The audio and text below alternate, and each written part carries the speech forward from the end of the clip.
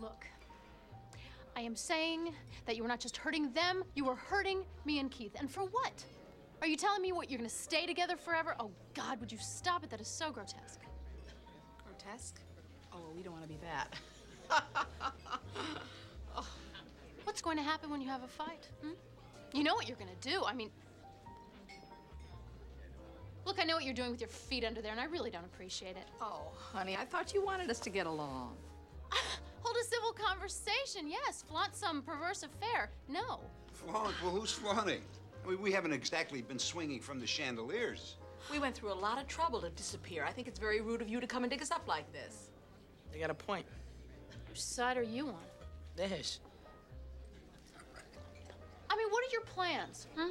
Run away? Become fugitives? Well, we really uh, don't have any plans. Yeah, if we make them, they might not work out. Exactly. Oh. Excuse me for thinking that uh, occasionally people should think through insane things before they do them. But then again, if you had ever done that in your lives, maybe I wouldn't be illegitimate. Honey, that was the 70s. That is no excuse. Alan and Rowena are in shreds. I, I, I just don't know how you can do this to them. These are people that you have lived with for 14 years. Have you no human feeling?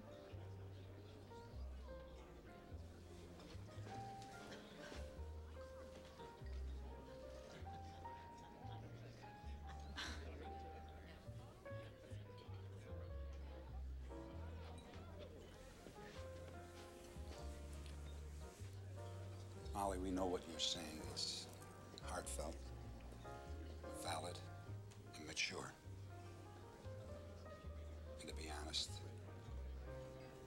it's making us feel ashamed of ourselves. But No buts. If you'll come upstairs with us now and help us pack, we'll go home. really, You come too? Yeah, okay.